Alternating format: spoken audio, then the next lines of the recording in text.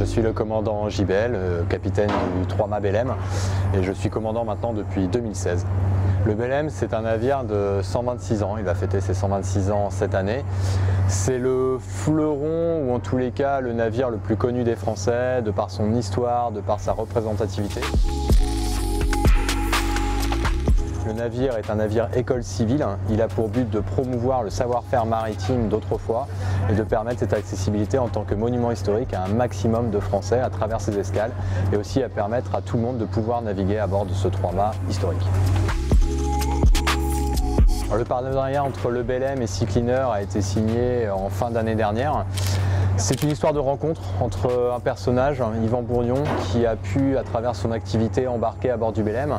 On est tous euh, acteurs de la mer et une âme commune nous rejoint, celle de naviguer sur un des plus beaux espaces que la nature nous ait donné et c'est vrai que le constat amer que euh, Yvan a fait sur euh, la pollution en mer, nous aussi on le constate tous les jours. Et donc il y a eu un rapprochement naturel entre le Belém qui porte des valeurs de transmission, de savoir-faire au-delà des siècles, et qui lui a vu euh, les océans se polluer de plus en plus.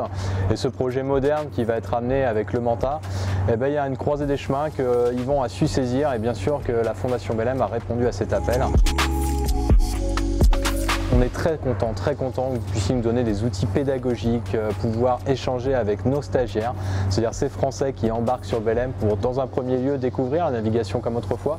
Eh ben, au-delà de nos mots, ils vont être sensibilisés, avec des outils pédagogiques forts que vous avez à l'importance de préserver les océans, de faire attention à notre mode de consommation.